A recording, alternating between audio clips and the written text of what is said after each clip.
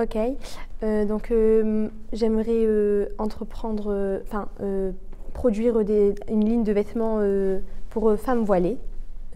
mettre en avant le style, le style de la femme, un style, un style vestimentaire fashion pour les femmes voilées.